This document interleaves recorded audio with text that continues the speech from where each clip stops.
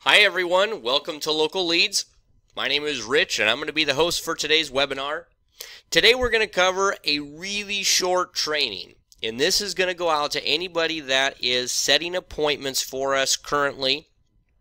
Um, really what we're going to go over is how to schedule an appointment and then how to fill out the form. So really just the two last steps that you need to do once you've been you know on the phone with them. So the first thing is just go over to our website localleads.us click on uh, or hover over the contact us and drop down to where it says calendar.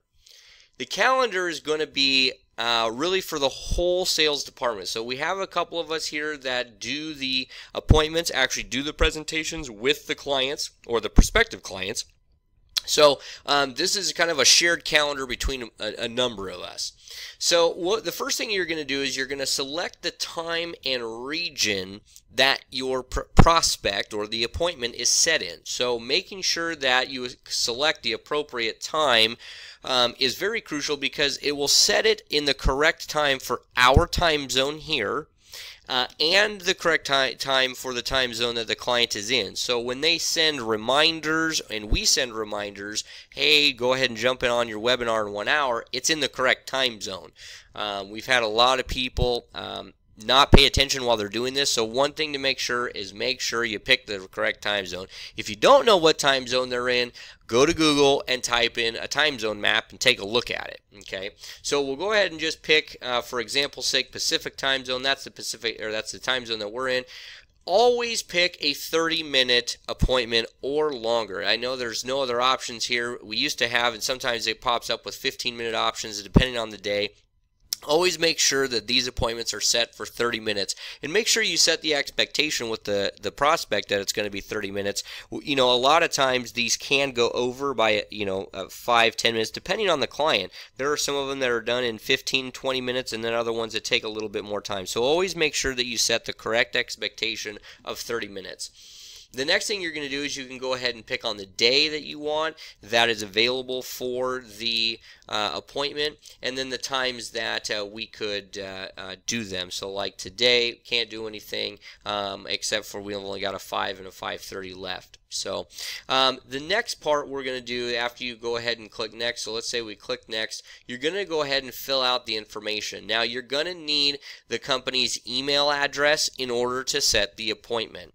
So one of the things that you're going to do is always make sure that you have this screen open just to go ahead and grab the prospect's name because you can easily, um, right below the calendar, there is an appointment form and what that's going to do is that's where you fill out their information. It's, this is going to send it to us so we have an idea of who this person is or who this business is that we're about to talk to. And a lot of times what we'll do beforehand is do just a little bit of research on our own. So the more information you can give us about that uh, prospect or the prospect's business, the better equipped that we are going to be entering into the webinar to make the sale okay?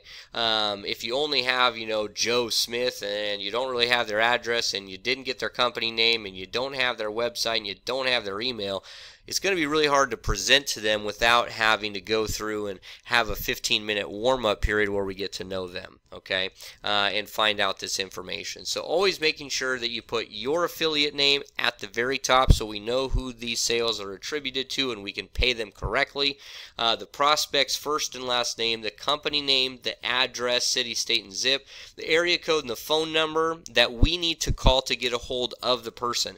A lot of times, what's best to put here is the person's cell phone number. And it's best to really ask for that because a lot of times with business owners, if you put down the business phone number that you might have called in the first place, the issue is a lot of times we have to go through gatekeepers or that person's not exactly available at that point. If we get a cell phone number, a lot of times they'll go ahead and put off what they're doing, answer the phone because they have an appointment set with us. Okay. The email is going to be super crucial as well because this is going to go ahead and send them reminders. We have text reminders as well that go out uh, based on these phone numbers um, uh, that you fill out, and you're going to fill them out um, up here and down here. So the phone number, company, and the email address and the name are going to to go in both sections, in the calendar and in the appointment form, because they go to two different locations uh, when you set the appointment uh, to make sure that all of our bases are covered for follow-up and reminders, things like that. So make sure you pick your time. Make sure you pick the correct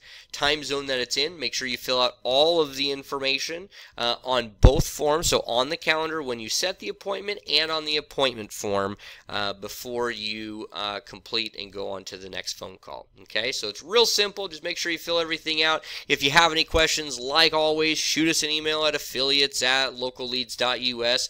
And other than that, we will see you in the next webinar. Talk to you guys soon.